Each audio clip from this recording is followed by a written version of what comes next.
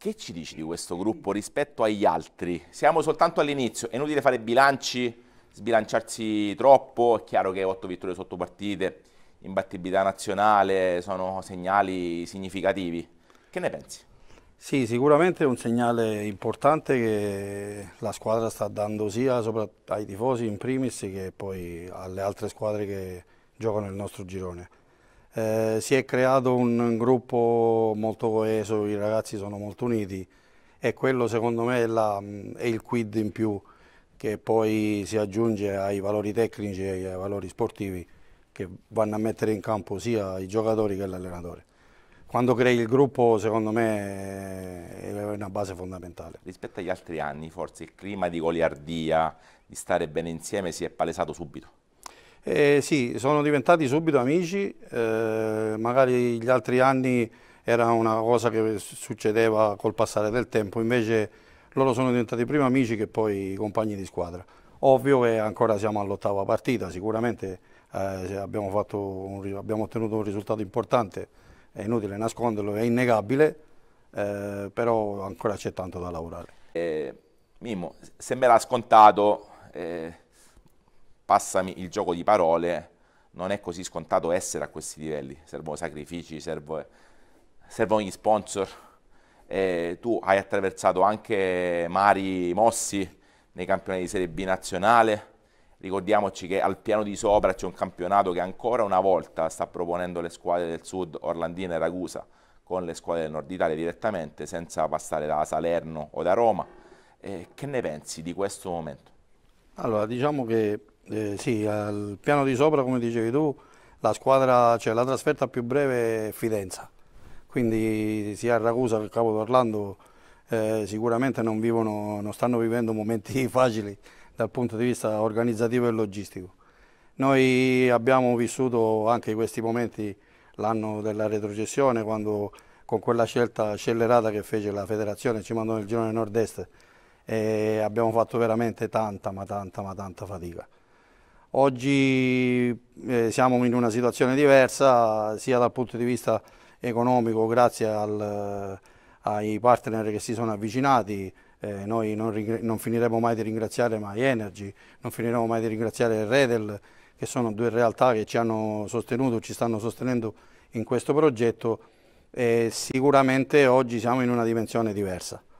Eh, ce ne corre, ancora ce ne vuole, siamo soltanto agli inizi, eh, come ben tu sai gli investimenti non, non, bastano mai, nel senso che se si vuole ambire a progetti ambiziosi bisogna anche riuscire a reperire investitori e persone che credono in questo progetto. Penso che noi come società, passami la presunzione, ma oggi siamo una realtà quasi consolidata, dopo cinque anni abbiamo dato dimostrazione soprattutto il Presidente Laganà che è il nostro traino, eh, come ben tu sai, come tutti sanno, abbiamo dato dimostrazione che crediamo in un progetto, ci, ci, abbiamo messo la faccia, ci stiamo mettendo energie, risorse, forze, insomma un po' di tutto e quindi benvengano insomma, tutti gli investitori e tutte le persone che si vogliono avvicinare al nostro mondo. Con la scusa io invito pubblicamente il Presidente Carmelo Lagana eh, insieme alla signora Emilia, li voglio in tandem per raccontare un attimo. Penso che a questo punto sia inevitabile dare una, cittadin una cittadinanza onoraria a Roberto Bullara che si dimostra per l'ennesima volta un signore con la S maiuscola, nonché un mito per tutti noi. Eh, Mimmo, trittico di partite, eh, il gruppo chiaramente sta, sta, sta, ricaricando le batterie, così come è giusto che sia. Eh, a tuo avviso, dove si può arrivare? Si può sognare. I cittadini chiaramente sono impazziti perché Reggio è una città che vive di onde, vive di entusiasmi. Giovanni, mi fai una domanda strana, nel senso, eh, potrei risponderti istintivamente, ma voglio essere molto razionale. Eh, gli obiettivi dichiarati della società sono, si sono pavesati illo tempore. Il nostro Presidente ha già eh, dichiarato a chiare lettere l'obiettivo fondamentale che ci siamo prefissi. Eh, però ti dico sì, abbiamo un trittico importante adesso che ci aspetta a cominciare domenica col derby eh, poi c'è l'infrasettimanale a Catanzaro e poi arriva Matera. Eh, ma mh, la difficoltà oggi è eh, mantenere l'equilibrio che si è creato. stare sempre con i piedi per terra, ma lì il coach con eh, tutto lo staff eh, sono abbastanza pronti a, ad intervenire, insomma a fare i ragazzi, ripeto, sono abbastanza sereni, sono molto coesi e quindi la difficoltà secondo me è proprio quella i tre dello staff sono molto leopardiani, lavorano veramente sì, sì, schiena sì, dritta sì, giorno e notte. Esatto, pedalare. E questo mi fa molto piacere, vuol dire che ci tengono tanto alla causa. Sì, sì, cioè, sì, vedere coach Cadeo quando non c'è allenamento lì è un segnale, solitamente la prima squadra arriva soltanto quando si allena la prima squadra. Eh, ma ti dico, io la prima telefonata che ricevo al mattino è quella di coach Cadeo, ah.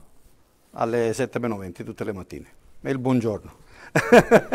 quindi eh, è uno stacanovista, è uno che lavora molto, anche Stefano Scarpa è un, un coach abbastanza preciso, studia molto, segue molto le, le vicende, poi non, per non venir meno a Sebbi d'Agostino, prodotto di casa. eh, eccellenza di casa. Eccellenza di casa, sì, eh, che effettivamente sta dando un supporto abbastanza importante.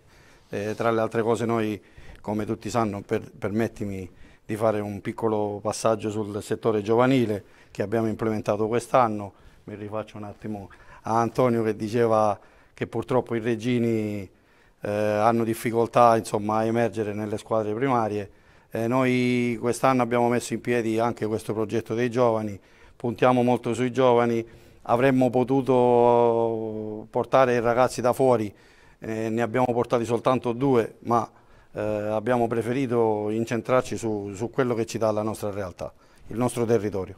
L'obiettivo fondamentale, cioè uno degli obiettivi della nostra società è quello di far crescere questi ragazzi, di creare, sempre nei limiti del possibile, una cantera. E tu, cioè, è una scelta in, in questo momento storico molto molto orgogliosa, visti i regolamenti, vista la legge sullo svincolo, che ha un, un po' stravolto sì. il mondo giovanile, però si sta lavorando tantissimo. Eh, Antonio, tu sei una delle eccellenze di sempre, storia giovanile della Viola, eh, qui, come ben sai, ogni tanto giochiamo e si potrà arrivare, secondo me, agli obiettivi.